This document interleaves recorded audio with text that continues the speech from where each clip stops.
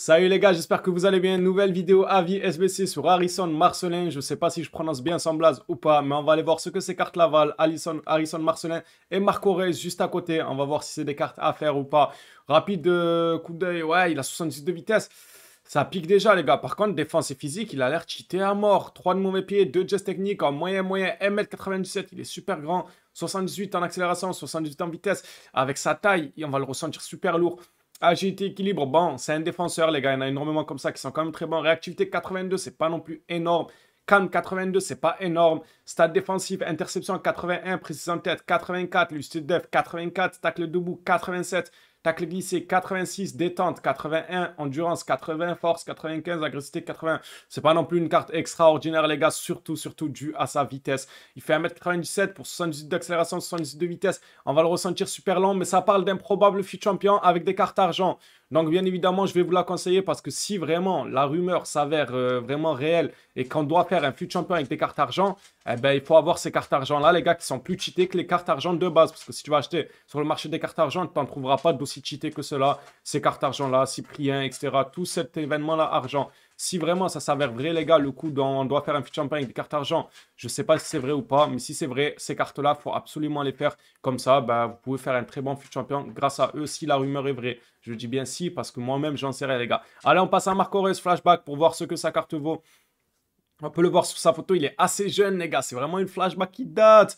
Taille 1m80, rendement de joueur élevé. Moyen, c'est très bon. Meilleur pied, droit, geste technique 4, mauvais pied 4. Il est assez complet, il a un bon rendement. Double 4, dommage qu'il n'ait pas un 5GT, mais franchement, double 4, c'est assez complet, les gars. C'est vraiment assez complet. On va pas trop en demander, on va voir dans les détails. Accélération 92, vitesse 85, c'est très bon. Il fait le mètre 80, c'est suffisant, même si euh, à ce stade-là du jeu, bon, 85 de vitesse, c'est vraiment limite, limite, surtout pour un ailier.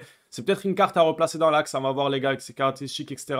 Parce que pour un ailier, 85 de vitesse, c'est pas top. Placement offensif 83, finissant 82, puissance tir 84, tir de loin 81, volet 83, penalty 74. C'est moyen, c'est moyen, stat en tir comme toutes les cartes flashback qui sont sorties, les gars. C'est des cartes moyennes et pas des cartes exceptionnelles. Le but, c'est de voir si c'est quand même sympathique de les faire ou pas. Vista 84, centre 83, précision coup franc 83, passe courte 83, passe longue 77, c'est pas ouf. Surtout, je disais qu'il fallait le replacer moussé peut-être. Bah, vu ses passes courtes et passes longues, ça pique pour un MOC, ça va piquer fort, les gars. Je conseille pas forcément même en MOC. Effet 86, agilité 85, Équilibre 82, il n'a pas énormément d'agilité pour un ailier. Pour être joué sur l'aile, il a vraiment le minimum en agilité d'équilibre. C'est pas exceptionnel. Réactivité 84, c'est bon, sans plus. Conduite de balle 84, dribble 83, calme 82, c'est pas exceptionnel. Endurance 81.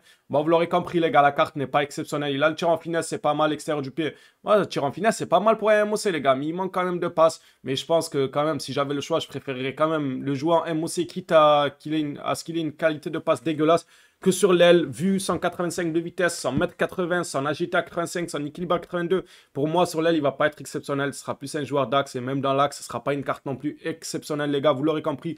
Mais c'est assez sympathique. C'est la même musique, les gars, que pour Cyprien, que pour euh, Flashback de De Bruyne, Flashback de...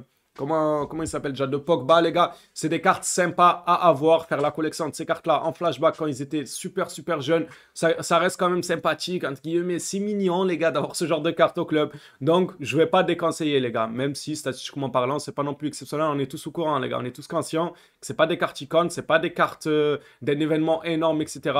Mais pourquoi pas, c'est sympa, ça change un peu. Donc, c'est une jolie carte, ça change. C'est Marco Reus. Faites la collection, les gars. Après De Bruyne, après Pogba. Maintenant, Marco pour votre Bundesliga en flashback quand il était tout jeune. C'est sympathique. En tout cas, merci à tous ceux qui ont regardé la vidéo jusqu'à là. N'hésite pas à lâcher le petit like si c'était nouveau, le petit abonnement, ça ferait extrêmement plaisir.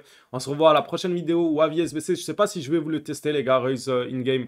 Je sais pas si je fais une review de Raise in-game.